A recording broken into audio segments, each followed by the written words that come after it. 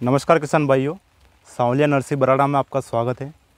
किसान भाइयों, आज जो आप देख रहे हैं, ये पपीता का बगीचा, हमने उन्नीस अप्रैल को लगाया था गाँव बराड़ा में, और ये सांवलिया फलोद्यान बराड़ा के द्वारा लगाया गया है, और मेरा नाम कन्हैया दास बैरागी है।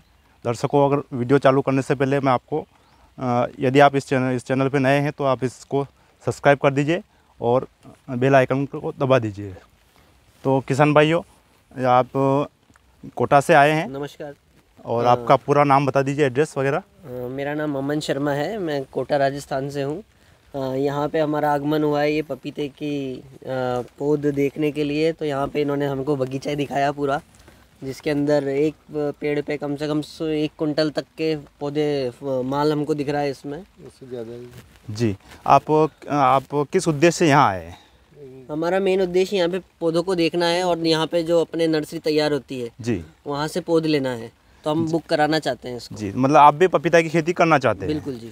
तो किसान भाइयों मैं आपको कहना चाहूँगा कि जो भी किसान भाई पपीता की खेती करना चाहता है तो वो एक बार जिस जिस नर्सरी से पौधे लें तो पहले उस नर्सरी से ये जानकारी लेके आपने पिछली बार बगीचे कहाँ लगाए हैं उन बगीचों को आप देखें यदि आपको बगीचे के देखने के बाद संतुष्टि हो तो ही वो आप उस नर्सरी से पौधे लें अन्यथा न लें।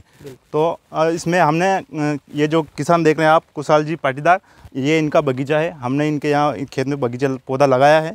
ये जो वेराइटी देख रहे हैं आप red lady Taiwan seven eight six और इसमें आप खुद देख सकते हैं। आप एक बार उधर भी घुमा दीजिए।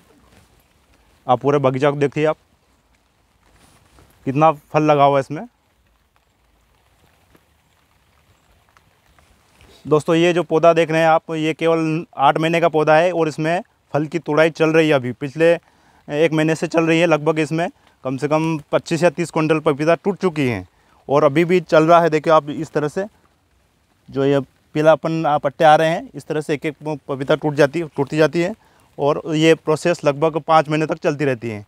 तो किसान भाइयों, ये पपीता की खेती जो आज के समय में बहुत ही अच्छी खेती है। इसमें कम समय में आप ज़्यादा लागत और ज़्यादा मुनाफा ले सकते हैं। और ये जो किसान भाइयों को एक बार बता देता हूँ कि जो आप पपीता की खेती करते हैं तो आप मार्च और पंद्रह अप्रैल से पहले पहले ही पौधा लगाए, उसके बाद पौधे न लगाएँ। और जो भी किसान भाई पपीता की खेती करना चाहता है, वो एक बार सांवलिया फल उद्यान बराड़ा के से एक बार संपर्क करें, ताकि आपको अधिक से अधिक जानकारी मिल सके। आप सभी को एक बार धन्यवाद देना चाहूँगा। आपने इस वीडियो को देखा है, और आपको भी भाई साहब धन्यवाद। आप यहाँ पर आए हैं आपने जानकारी ली है हमसे और आप भी खेती करने के लिए आप हमसे पौधे लेने के लिए आप पूरी जानकारी लेने आए हैं यहाँ पे। धन्यवाद। धन्यवाद।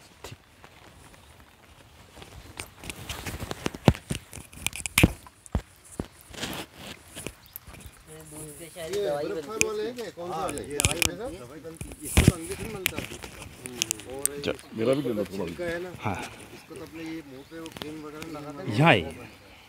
अंदर का जो वो घर है उसकी चिप बन के ना बिगड़ जाती है।